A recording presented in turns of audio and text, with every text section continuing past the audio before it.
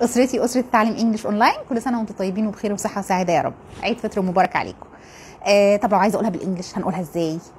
آه بالنسبة لعيد الفطر لو عايزين نقول كل سنة وأنتم طيبين بمناسبة عيد الفطر هنقول happy Eid happy Eid هم عندهم المصطلحات الإسلامية بيقولوها زيها هي هي بالانجلش يعني مثلا العيد بنقول Eid آه عيد الفطر هنقول عيد الفطر آه رمضان رمضان وهكذا. فهنقول happy Eid أو happy Eid الفطر ده بالنسبة لعيد الفطر لو عايزة أقول لك كل سنة وأنت طيب بمناسبة عيد الفطر. طيب كلمة عيد بقى عندهم كعيد أي عيد عندهم بيسموه feast feast فلو هيهنوا نفسهم هم بقى بأي عيد بنقول happy feast happy feast طب أنا بقى لو عايزة أقول لحد كل سنة وأنت طيب بمناسبة أي حاجة يعني مثلا بمناسبة رمضان بمناسبة الكريسماس بمناسبة عيد الأم بمناسبة عيد ميلاده هقولها له إزاي بالإنجلش؟ هم بقى ما بيقولوش كل سنة وانت طيب يعني زينا بالعربي كده كل سنة كل كل مناسبة بنقول لبعض كل سنة وانت طيب بغض النظر عن المناسبة دي. لا هم بيحددوا.